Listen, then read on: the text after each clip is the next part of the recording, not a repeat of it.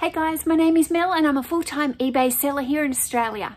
Now, over the weekend, we moved all my unlisted stock that was at home in my home garage over to the storage units. And it's Monday morning and it's the first time I've come in here and actually opened up all the storage units at the same time to see exactly what I've got. And oh wow, do I have some work ahead of me.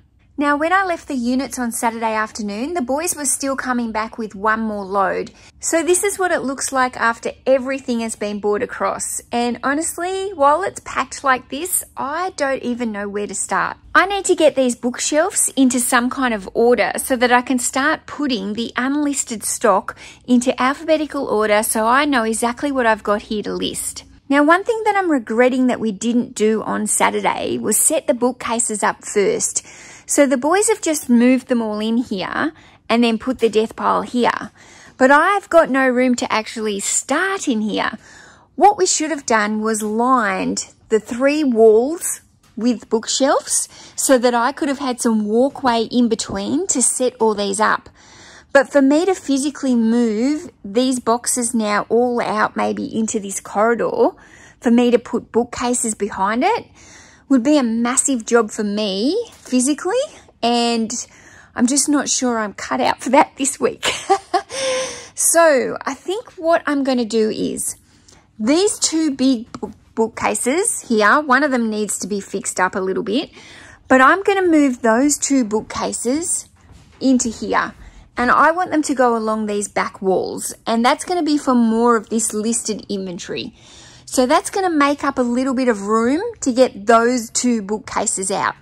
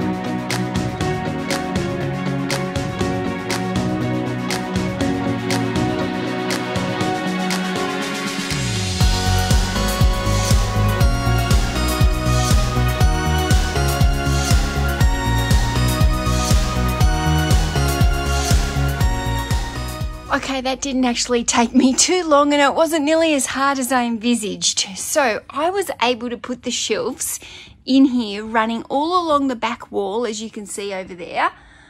Plus I've got them running along this wall and I've got like a, a wall of them that'll go down along here along the roller door. Now what I'm envisaging is a couple of trestle tables set up all the time in the middle of this room so that I can be kind of working on it.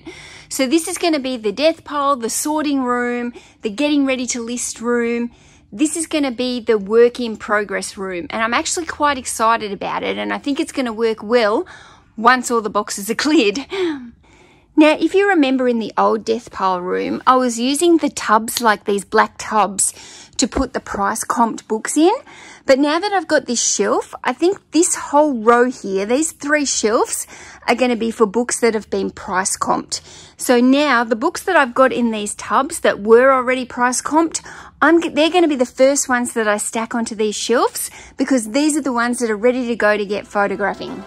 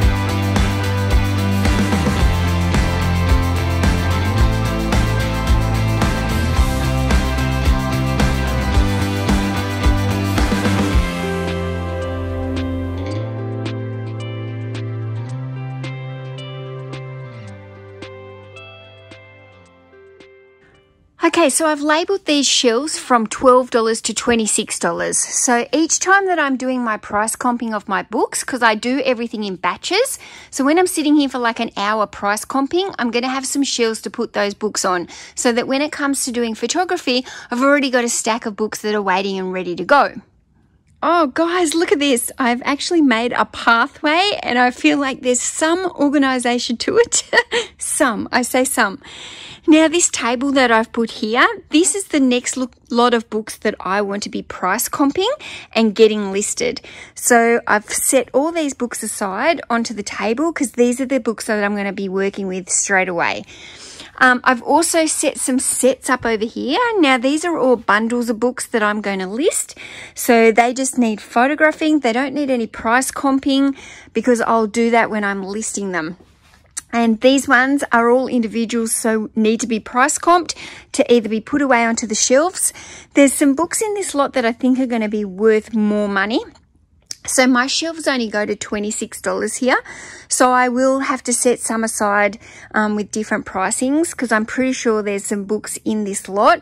They're going to be priced over the $26. I've actually got some pretty cool books in this lot. Um, so yeah, I'm pretty keen to price some of these. Now, as you can see, what I've done here is I've lined it all around with these bookcases and I've just put all the books in the middle at the moment. I can kind of walk around it. I've left enough room, even though there's some bags on the floor there. Once those bags are picked up, I have left it so that I can actually walk around, even though it's a bit of a tight fit. Now, the bookshelves have been set up and I'm going to label them A to Z, and that's going to be mainly for the fiction. And then I'm going to have a few shelves that'll just be for like separate books like cooking and gardening and miscellaneous type books.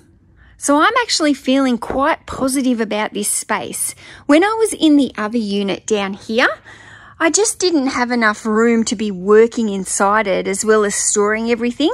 But I really feel like if I can kind of keep like half to two thirds of this unit here for storing books and building sets and the unlisted kind of books that I'm getting in hauls. Then have this area here to work on the books that are in the middle of got to be price comped, the books that are already price comped, sets of books that are ready and waiting for me to photograph. I just feel like I'm going to be able to come in here and be so much more productive because now there's more of a system to the death pile. Now, I'm not actually going to finish emptying all those boxes today. That is a mammoth job and I'm not up for it today. I'm still buggered after the weekend and I'm tired just from moving all that around that I did this morning. I've still got to pick and pack my orders, which I'm going to do now for the weekend. And then I'm going to head home and get some listing done and do some computer work and just some catch up because I haven't been on the computer for the last few days and I know there's work sitting at home for me and bundles waiting for me to list. Now I've just finished picking my weekend orders and so I thought I'd show you some what's sold. Okay, I sold six Danielle Steel books to the one lady and she paid $45. And I sold three Belinda Alexander books to one lady who has paid $41. Now, this was a random mix of individual books that one person bought, eight books, and she's paid $142 for these eight books. Now, this was a random set of four books purchased by the one lady. So we've got a book on retro, a little golden book, which is a little humor book, breaking bad habits in dogs, and recipes for canine cuisine. Now, she has paid $50 for the four of those books. The set of four Cassandra Clare sold for $30, and the set of three House of Night novels sold for $35.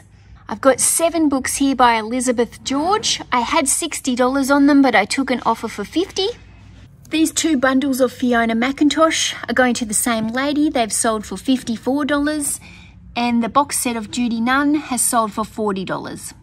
This two back of knitting books sold for $30.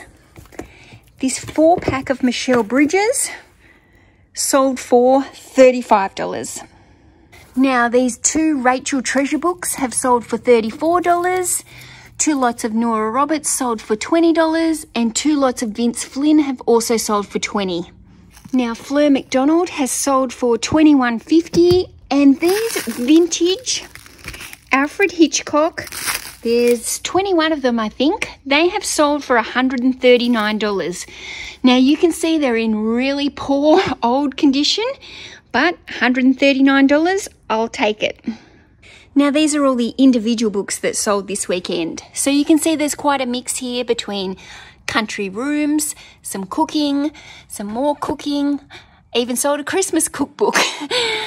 Low carb, we've got some fiction.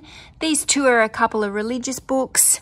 Stephen King, Rachel Johns, Stalker, James Herbert, Nora Roberts, another cookbook, another Bible, emotional healing, this one is um, self help, dyslexia, hyperactivity in children, Constance Hall, taking care of yourself and your family. That one's quite a regular seller for me. I see I picked up a lot of those for free. There's all different editions, but they do sell quite easily.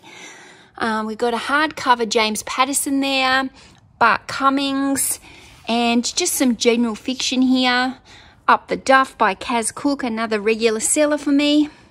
So Bulletproof sold for $30, Food for the Soul sold for $40, Kaz Cooke Up the Duff sold for $25, James Herbert sold for $18, the Christmas book sold for $25. Where are we? This Bible, Children's Bible, sold for $34.95. The low carb Pete Evans has sold for $35. Country Rooms has sold for $19.95 emotional healing for $18 and most of the other stuff is probably around the 15 14 15 $16 mark So as you can see, I've had a really good weekend of sales. I've made lots of profit on those books and I'm stoked to be sending them all out today. When I first found out that we were going to have to move into this new space, bring all these books over, get into a bigger storage unit and just move everything, I was so daunted. I was so stressed. I was so upset. I was crying like a baby. And oh my goodness, the smile on my face now, I actually feel like this is a good thing. This was meant to happen and I feel so much better. Thanks for watching guys.